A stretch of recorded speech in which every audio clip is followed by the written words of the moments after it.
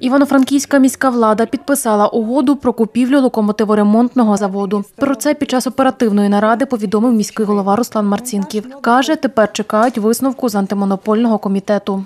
Як правило, у нас все за безцінь продається. Тут місто показало, що ми можемо разом перемагати олігархів. Тому що не секрет, що його хотіли збити ціну і купити ще за менші кошти, чим виставляв фонд комунального майна. Ми цього не дали, і наше основне завдання зберегти підприємство, зберегти профіль. За словами професора кафедри фінансів і кредиту університету короля Данила Ірини Мазур, питання доцільності такої покупки спірне. Каже, одна з найбільших проблем підприємства зараз відсутність ринку збуту продукції. Воно є досить е, актуальне і досить затребуване сьогодні, але у зв'язку із відсутністю платоспроможного внутрішнього попиту воно е, фактично не має ринку збуту для власної продукції.